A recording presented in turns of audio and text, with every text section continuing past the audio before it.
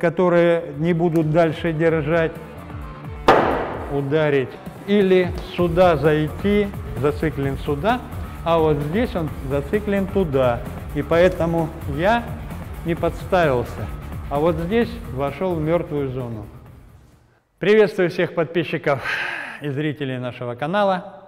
Сегодня будет ответ на вопрос одного из зрителей. Подскажите, что можно противопоставить при атаке дубинкой, то есть палкой, или арматурой? Но мы многократно на этом останавливались. Ну, давайте еще вернемся к этому вопросу. Когда вас атакуют дробящим оружием, а палка или арматура, это и как раз является дробящим оружием. Здесь главное правило, когда вас атакуют дробящим оружием, не противоставлять перпендикулярно части своего тела – то есть, если вы защищаетесь, это не должен быть вот такой блок. Возможно, вот даже если вы просто пропускаете, это вот как раз будет очень сильная атака. И вы получите, возможно, даже смертельные какие-то дробящим предметом удары, когда раскроят вам череп, черепно-мозговая травма – различная, то есть повреждается и мозг и так далее. Если будет просто вот так попадать, да, вот прямой угол, он бьет вам и попадает вот сюда в плечо. То есть это будет сломана ключица, там разорваны э, сухожилия, связки и так далее. И ваша рука уже даже, она не повредилась, но она подниматься не будет, потому что в человеческом теле все взаимосвязано. Поэтому здесь мы говорили, что он рассчитывает, как он будет по мне попадать, то есть вот здесь должна быть очень хорошо развит зрительный фактор.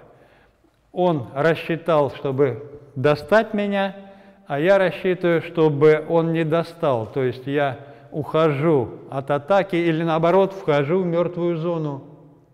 Пока даже вот не рассматриваем руки, да, или там защиты. Вот я вхожу в мертвую зону. Тогда удара не будет. Но для этого нужно быть, как я все время говорю, здесь и сейчас, и не впадать в панику, увидев, что у человека дробящий предмет в руках, а он может быть, ну тут миллион различных нюансов, да, уже замах произошел, или он его держит и собирается вас атаковать, пока разговаривая, или он бежит на вас, уже замахнувшись. Но защита одна – не подставлять свою голову, свое тело и свои части тела, которые у вас э, запчастями потом не заменишь. То есть на машине, если в колесе что-то повредилось, можете подъехать и заменить на новое колесо. Руку новую вам никто не заменит, будут сломаны кости, и как минимум вы будете в гипсе долго ходить. А если повреждены там сухожилия, нервы и так далее, возможно, рука уже не будет работать так, как надо. Поэтому входите в мертвую зону, первое что, и дальше атакуете или сам компьютер, который выбрал вас, или опоры атакуете. Э, ну, по телу это проблематично, то есть само тело атаковать, нужно атаковать компьютер, ноги и руки. В каком-то из наших роликов мы говорили, атакуя руки, мы не даем ему возможность атаковать второй раз, держа этот предмет. Поэтому вот вы вошли сюда и дальше атакуете ноги, отвлекли его внимание, руки, которые не будут дальше держать, Палку, возможно, если вы отобрали, можно ударить там по берцовой кости, по бедру, а по внешней, по внутренней стороне бедра. Можно ударить в стопу. Не надо бить человека в лицо палкой и вообще атаковать его палкой зрительно. То есть, вот смотрите, я вот сюда вошел, вот это все забрал, а потом могу сразу же атаковать так, чтобы не было это видно, там ни на камеры, ни людям. То есть я вот это а, атаковал, и вот здесь как бы случайно атакую, да, а если я буду далее, то есть я вот это все отбил и потом вот так буду делать, то тут камера зафиксирует, что я нападающий. Когда вы отобрали предмет, заканчивается его нападение, и дальше юриспруденция рассматривает, что акт насилия закончен, а вот здесь будет уже акт насилия ваш по отношению к нападающему. Вы индивидуально его воспринимаете как агрессора, а юридически он будет уже жертвой вашего нападения. Поэтому махать палками, не зная, что вокруг, я все время говорю, попадая в какую-то ситуацию, посмотрите, есть ли камеры, а если вообще тут люди, то даже не надо думать, есть ли камеры. У каждого есть, и тут же начнут снимать. Ай-яй-яй, то смотри, дядька плохой-то какой-то, машет палкой, бьет, и заснимут и его атаку, и вашу атаку. А потом, как это будет подано, возможно, его атака будет стерта, вырезана, а ваша оставлена и пойдет дознавателям и в суд, что вы атаковали такого молодого, хорошего человека, который просто шел, а вы с палкой на него напали.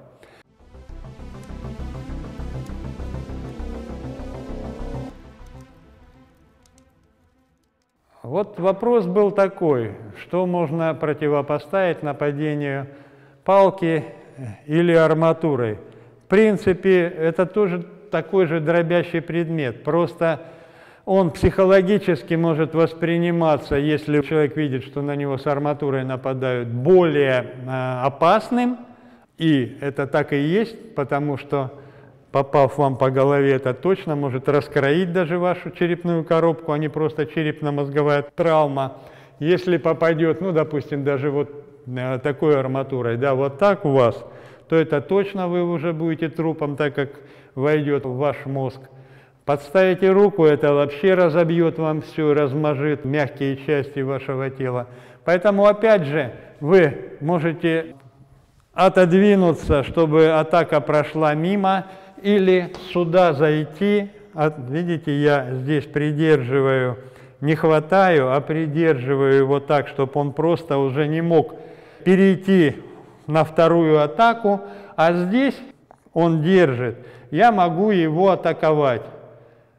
Сейчас он как бы зациклен сюда, а вот здесь он зациклен туда. И поэтому я могу уже отобрать. Но тем более вот этим дальше атаковать его я не рекомендую.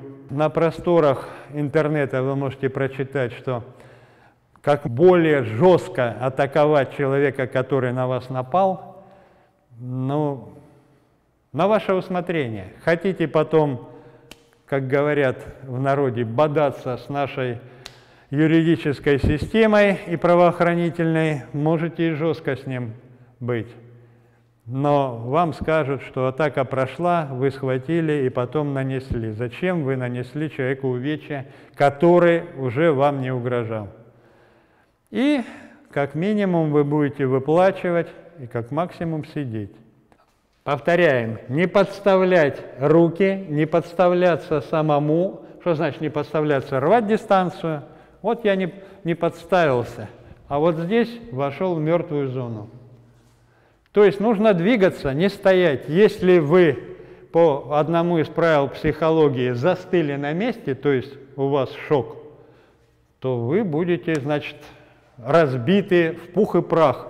Вот это вам не поможет. От железа и дробящих предметов это не поможет. Сломаются пальцы, сломаются предплечья, разобьется ваша черепная коробка, разобьются плечи. Если будет боковой удар, то сломают вам ребра, ребра вопьются вам в ваши внутренние органы. Если по ногам это будет удар, то сломает вам э, какие-то кости, размажит ваши мягкие части, это мышцы и так далее. Поэтому вот что вы можете противопоставить атакам, да? Вот что вы можете противопоставить. Но самое главное, не попадайте в ситуацию, когда вас могут атаковать такими страшными орудиями, которыми являются дробящие предметы, коим является палка и арматура железная. Что вам рекомендую? Увидев человека, попробуйте уйти, но не вот так. Если я увидел и пошел вот так, то вы по затылку, по своей спине получите. То есть нужно его держать как бы э, своим взглядом и уходить. И смотрите, если он вас преследует, то можно, конечно, вот разрывать дистанцию, оставляя между собой и им какие-то предметы. Даже если здесь будет стоять стул, то ему будет уже неудобно вас атаковать. Он уже будет отвлечен, чтобы не наступить на стул, чтобы не близко подойти, недалеко, а рассчитывать эту дистанцию. А вы можете уже покинуть это место. Вот что я вам рекомендую. Покидайте место, когда вы увидели, что человек идет к вам с палкой и с железкой какой-то. Это видно, это не какой-то короткий предмет, допустим, как это нож, кастет и так далее. Поэтому уходите, не помогает, бегайте. Самое лучшее правило в самозащите – бег на средние и короткие дистанции. То есть рванули, посмотрели, он за вами бежит, тогда уже перешли на ровный бег, такой рваный, и где-то за какие-то предметы все это покидайте. Надеюсь, я ответил на вопрос нашего зрителя. Если вы хотите увидеть, поищите у нас на канале много различных роликов снято с различными объяснениями, как себя вести при нападении дробящими предметами. Возможно, вам что-то подойдет и поможет. Записывайтесь на мои индивидуальные занятия. Звоните, будем обсуждать, что вы хотите, как вы хотите и так далее. До новых встреч, занимайтесь и берегите себя.